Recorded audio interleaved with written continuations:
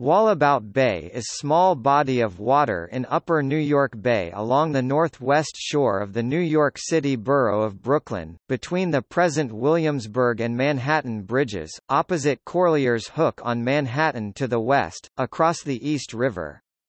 Wallabout Bay is now the site of the Brooklyn Navy Yard. The nearby neighborhood of Wallabout, dating back to the 17th century, is adjacent to the bay.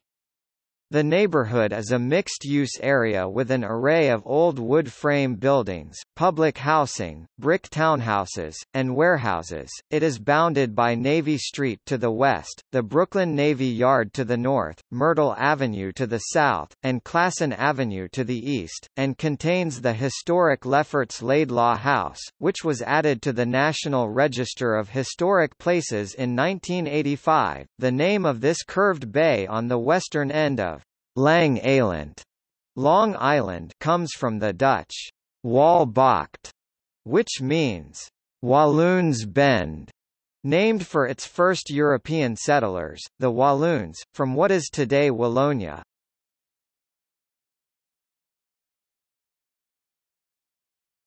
Topic: History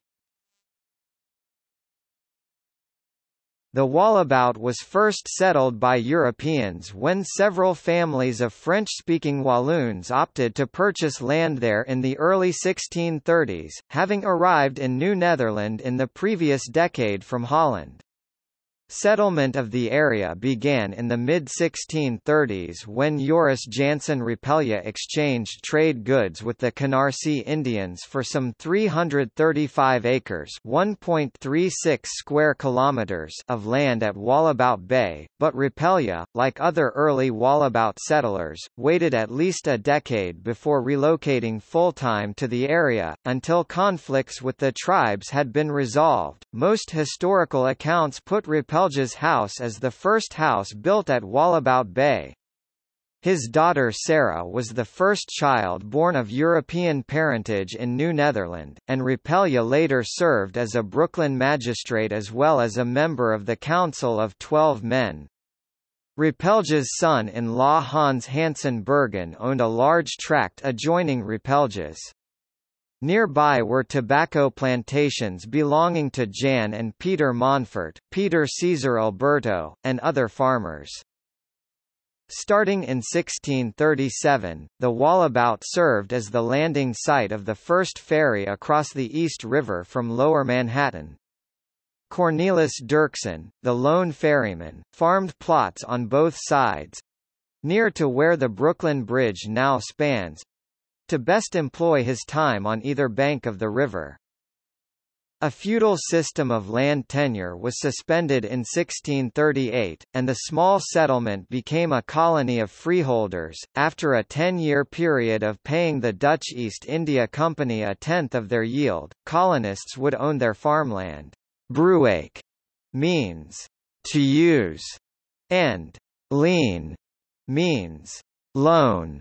In Dutch, the humble Brooklyn colony expanded out from the Wallabout to become the city of Brooklyn.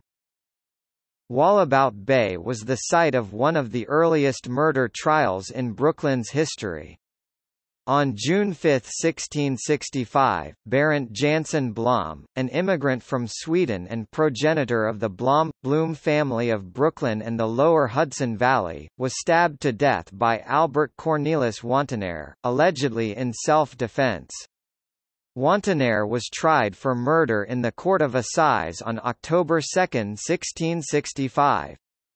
He was convicted of a lesser charge of manslaughter, suffering the punishment of loss of his property and a year's imprisonment. The area was the site where British prison ships moored during the American Revolutionary War from about 1776 to 1783, the most infamous of which was the HMS Jersey.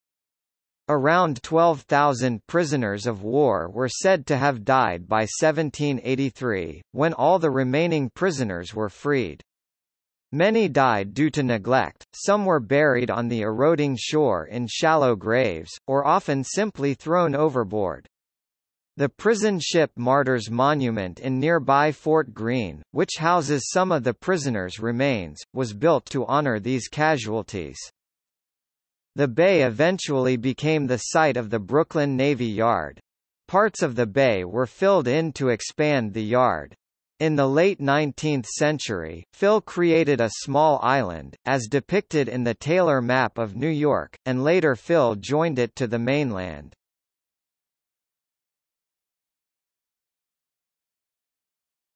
Topic: Potter's Field.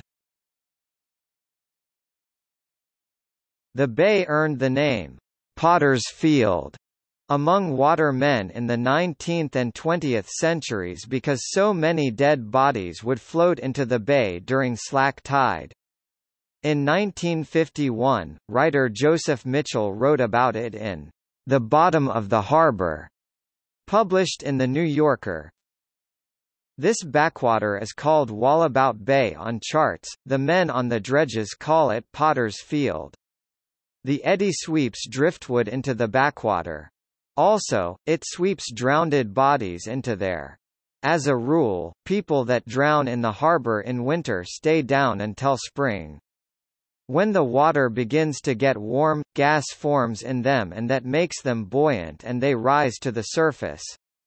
Every year, without fail, on or about the 15th of April, bodies start showing up, and more of them show up in Potter's Field than any other place. In a couple of weeks or so, the harbor police always finds 10 to 2 dozen over there, suicides, bastard babies, old barge captains that lost their balance out on a sleety night attending to tow ropes, now and then some gangster or other. The police launch that runs out of Pier A on the battery, Launch 1, goes over and takes them out of the water with a kind of dip net contraption that the police department blacksmith made out of tire chains.